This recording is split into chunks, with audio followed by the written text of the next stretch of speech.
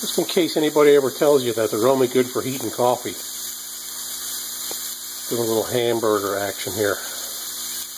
Oh yeah.